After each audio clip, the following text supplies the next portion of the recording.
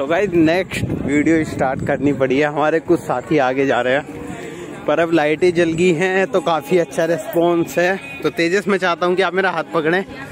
और चलो जल्दी। यो यो यो यो। बस बस। तो गाइस अब दिखाओ। देखो। इतना अच्छा लाइटों के बीच का माहौल और हम पानी के ऊपर। चारों तरफ़ सबसे बड़ा मानसरोवर। ओ माय गॉड मेरी लाइफ का फ़र्स्ट एक्सपीरियंस है। आई होप कि आप सबको ये अच्छा लगे मेरी मेहनत वसूल हो। देखिए लाइटिंग दोनों तरीके से कैसे जा तो हमने इन दोनों को पकड़ लिया है। इन दोनों को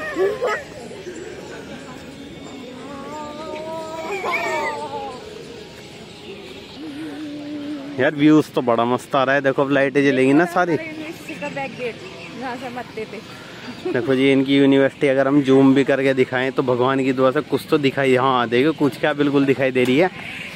इन्होंने तीन साल पहले यहाँ से अपनी स्टडी कंप्लीट की है। तो जूम बंद करते हैं।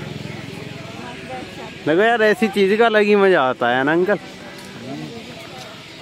फ़र्स्ट फ़र्स्ट एक्सपीरियंस इतना अच्छा माहौल।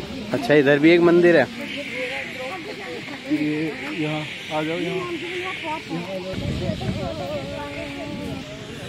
तो लाइफ का एक और फ़र्स्ट एक्सपीरियंस ये चीज़ आपने वहाँ पे भी देखी थी। यहाँ पे और दिखा रहे हैं कि जो कुछ फिट की फिट ऊपर रखा हुआ है। मतलब इसको बनाने में सोचो यार, कितनी मेहनत लगी होगी, किसका दिमाग होगा? टैर के ऊपर शेर। इसका बोर्ड बोर्ड दिखा।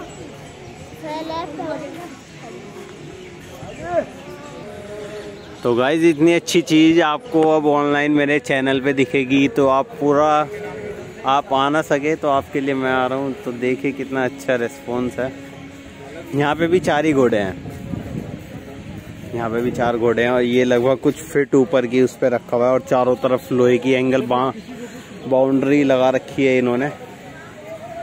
और फैमिली वाले तो साथ रहते हैं तो ये भी बहुत अच्छी बात है। मम्मी और मामा जी आ रहे हैं सामने से। और ये सब चलते हैं, फिर थोड़ा पास होकर दिखाते हैं, इस रेलिंग से नीचे उतर कर दिखाते हैं, रेलिंग पे खड़े होकर दिखाते हैं। इतना शांत माहौल हो तो सारी टेंशन दूर हो जाती है, इतना अच्छे माहौल में। तो चलते हैं, देखिए हरी हरी घास, चप्पल में, वो भी तो चलें ब्रिज के ऊपर। देखिए, पहले पानी में चल रहे आप। देखिए, पानी साफ़ है यहाँ। चलो, ऊपर चल रहे ऊपर चलता है। तो देखिए, जहाँ पर भी म्यूज़िक चल रहा था, वहाँ पे भी जाएँगे। पहले ऊपर चलते हैं कि ऊपर का व्यू दिखाएँगे। वाह सबसे पहले हम यही दिखा देते हैं, ये लैम्प इतनी फाइन क्वालिटी में ओ my god let's break it वो चीज़ जहाँ पे हम पानी में जाने से डर रहे थे एक हल्की सी गलती और मोबाइल पानी के अंदर।